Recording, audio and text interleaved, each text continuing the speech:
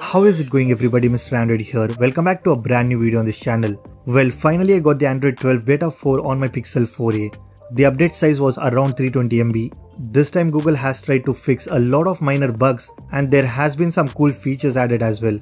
With that being said, in this video, let's check out what are the changes Google has made with this beta 4 update. Also let's aim for 1500 likes on this one. So drop a like, leave a comment and let's get started.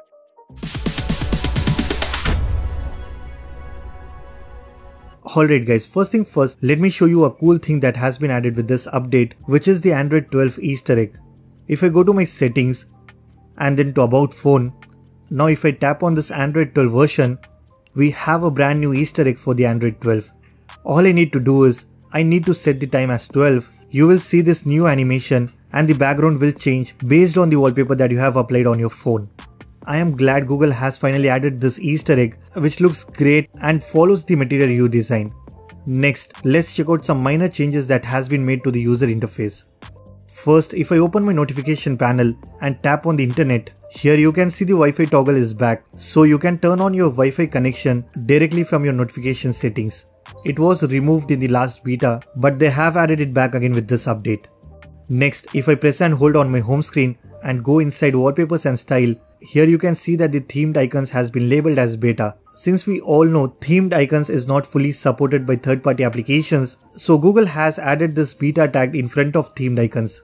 Also depending on the color of your wallpaper, Google icon in the search bar adapts to the same color. I know it's not a big change, but I'm really happy that Google is trying to implement the Material You design throughout the interface. Another cool feature that has been added is the ability to share pictures from the recent apps menu. For example, if there is any picture appears in your recent menu, you will see this icon, simply tap on it and then you can share it easily to your friends. This feature is super useful and you can even share YouTube thumbnails by using this amazing feature.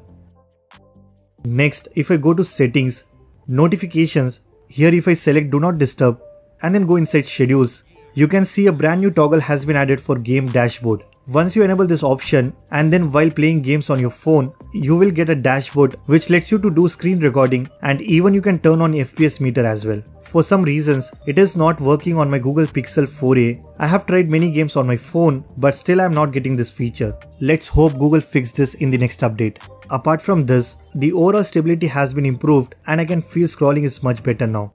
Even Google stated that this update is mainly focused on the stability and the performance, but still we are able to see some new features added with this update along with the easter egg.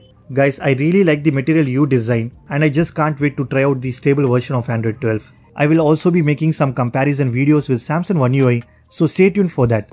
So that's pretty much it guys. This was a quick video on Android 12 Beta 4.